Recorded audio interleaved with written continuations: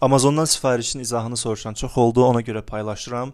Bu Amazondan sifarişin addım-addım izahıdır, amma bir çox başqa Amerika saytlarında da proses bənzərdir və ilkin olaraq sizə biraz qəliz görünə bilər, amma heç də elə deyil. Bir dəfə eləyəndən sonra artıq gözünüz öyrəşəcək. Yəni Instagramı necə istifadə eləyəndə birinci qəliz gəlmişdi. Baxın eyni şəkildə. Bir dəfə eləyəndən sonra öyrəşəcəksiniz, gözünüzü qorxutmayın.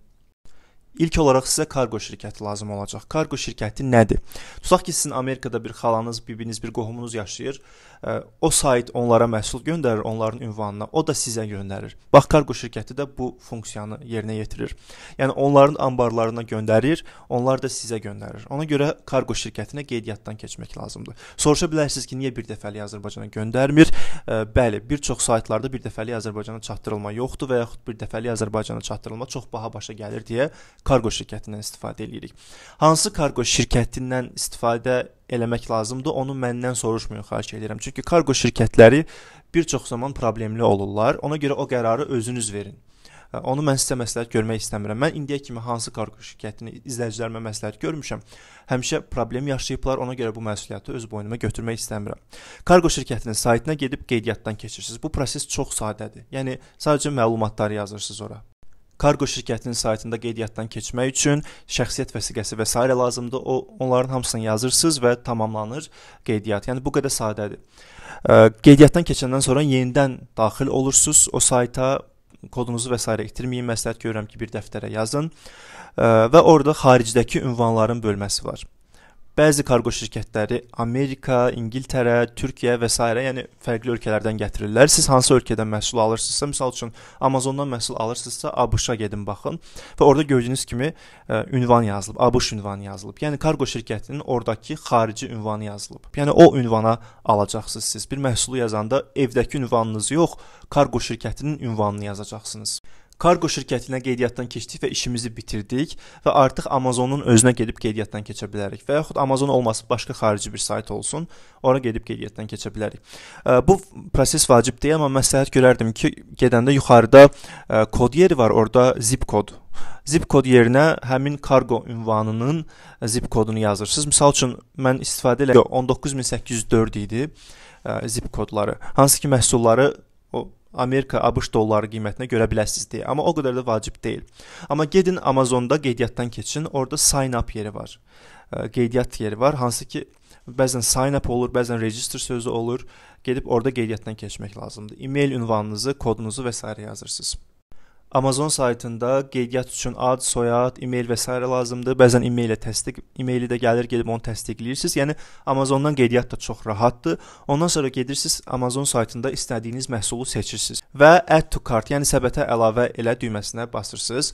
Qeyd eləmək istəyirəm ki, orada Buy now var, yəni bir dəfəlik də ala bilərsiniz səbətə atmadan və bir də ki, kosmetika, ə, şəxsi baxım belə məhsullar olanda bəzən orada bir funksiya çıxır, hansı ki aylıq abunə. O aylıq abunəyə tıklamayın qətiyyən. İndi alın, bir dəfəlik alın düyməsinə tıklayın ki, hər ay kartınızdan pul çıxmasın. Məsəl üçün belə bir AirPods-lar alanda, texnologiya əşyaları alanda sığorta filan istəyəcək oradan sizə əlavə ödəniş. Onu da no thanks, yəni xeyr düyməsinə basaraq keçin.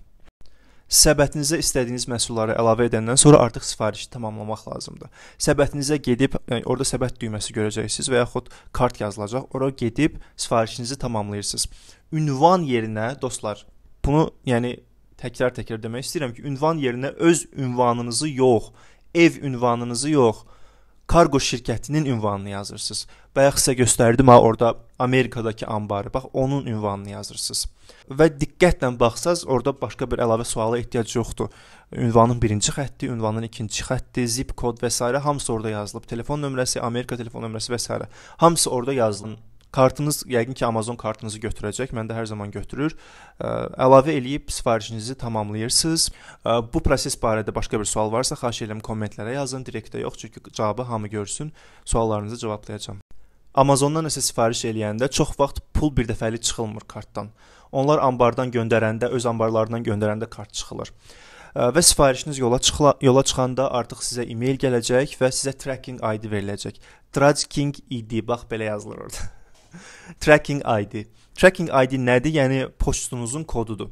Və bu kod vasitəsilə gedib həmin kargo şirkətinin, hansı kargo şirkətindən ki istifadə edirsiniz, onun saytında bəyannamə əlavə et yeri var. Bəyannamə əlavə edərək məlumatları ora yazırsınız. Nə saytıdır, nə məhsuludur. Bəzi kargo şirkətlərində bunu eləməyə ehtiyac yoxdur, özləri yazırlar. Amma çoxunda özünüz əlavə edirsiniz. Amerikadan sifarişdirsə.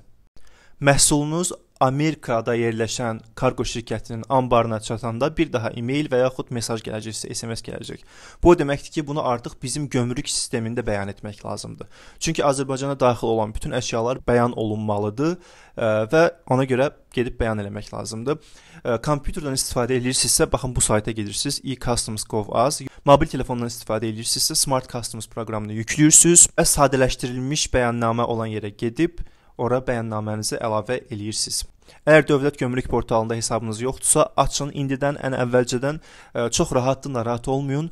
Bəzən video zənglə təsdiq olunur, bəzən SMS-lə və sizin etmək olduğunuz proses bitdi. Gömrük saytında da bəyan olunandan sonra artıq oturub bağlamanızı gözləyə bilərsiniz. Bağlamanız Azərbaycana gələndə bir çox şirkətlər 2 həftəyə gətirir, 2-3 həftəyə gələcək. Sizə SMS və yaxud e-mail gələcək, gedib ödənişi ödəyib götürə bilərsiniz. Yaxud ödənişini elə kargo şirkətinin saytından eləyə bilərsiniz. Gedib bağlamanızı götürəcəksiniz. Dostlar, xahiş edirəm, hansı kargo şirkətindən istifadə etmək lazımdır? Bu sualı mənə verməyin. Mən indiyə kimi nə paylaşmışamsa, axırda günahkar mən çıxmışam. Yəni kargo şirkətləri problemli olduğuna görə mənə nə qədər pul da təklif eləyirlər, amma mən bu reklam reklamı götürmürəm də. Yəni kargo şirkətlərini məsləhət görmək istəmirəm sizə. Xüsusilə də bir izləyicim AirPods Pro alanda ona fake göndərmişlər. Çünki bir çox kargo şirkətləri orada paketdən çıxardır, daha yüngül paketə qoyur. Yəni qutunu açırlar, atırlar ki, e, daha az yol pulu çıxsın. Ona görə bəzən məhsullar itib bata bilir. Ona görə xahiş edirəm, dostdan, tanışdan soruşun, kargo şirkətini məndən soruşmayın. Mən heç vaxt izləyicilərimə yanlış və səhv məlumat vermək istəmərəm və istəmərəm ki, sizin məhsulunuz hardasa batsın. Dərdi birinci dəfə eləyəcəksiniz, qəliz görünə bilər, amma sonradan çox sadələşəcək sizin üçün. Xahiş edirəm videonu save eləyin, yaddaşda saxlayın ki, sonra axtarmayasınız. Direktdə tez-tez mənə yazıb bu videonu istəyirlər. Məndən bu paylaşımı daha əvvəl eləmişdim səhifəmdə. Suallarınız varsa kommentlərə yazın, direktdə yazmayın ki, cavablarını hamı görsün. Xoş alış-verişlər.